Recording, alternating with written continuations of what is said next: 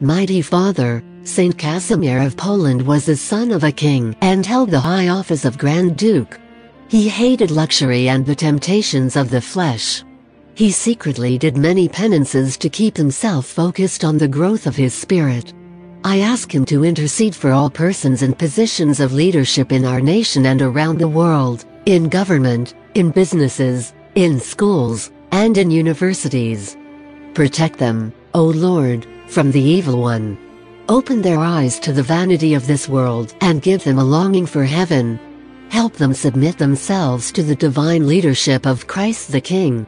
Saint Casimir of Poland, pray for us. Amen.